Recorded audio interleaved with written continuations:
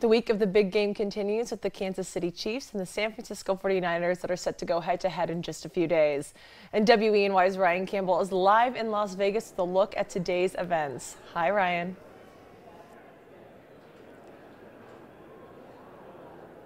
Hey there, Alex, and good morning from Las Vegas. We're here for day two of the week leading up to the big game between the San Francisco 49ers and Kansas City Chiefs on Sunday on WENY CBS. Now, we're back here in Radio Row here at Mandalay Bay, and it's definitely another packed day. Let's take a quick recap of last night for opening night. It was an exciting opening night. We were in Allegiant Stadium, and the city's just excited to host this big game uh, because it's their first time doing it. And also, Allegiant Stadium's brand new. It was built for the 2021 22 season, fits 65,000 people. And also, last night was a record uh, that was set for big game opening night. Well over 23,000 fans were in attendance for opening night. We got to talk to plenty of players and coaches down on the field. Also see what kind of food they serve at the stadium as well. We also heard from Pro Football Talk's Mike Florio on bringing the game to Vegas, as well as the matchup between the 49ers and Chiefs. So it was definitely a really, really cool opening night to experience. And plus, there's plenty on uh, going on this week. Now, taking a quick look at today. Right after this, uh, we are going to be heading over to the Kansas City Chiefs Hotel. We'll be talking to head coach Andy Reid and plenty of players that'll be sitting over there. And then also when we come back here to Radio Row, CBS has their media availability as well as Nickelodeon. So we have plenty of cool stories for you today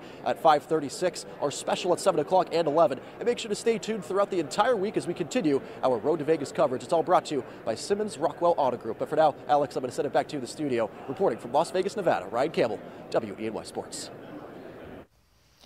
All right, thank you, Ryan. A lot to look forward to.